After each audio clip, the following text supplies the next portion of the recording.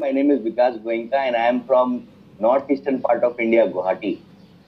I bought this machine in the year 2018, uh, December 2018, and I am a diabetic. I used to take some 18-20 points of insulin in the morning and in the evening. My experience is so wonderful that within uh, three months, uh, insulin dose started decreasing slowly, slowly. From 20, it became 30, uh, 16, 14, 20. And in the month of uh, April, the insulin really stopped. So today I am free from.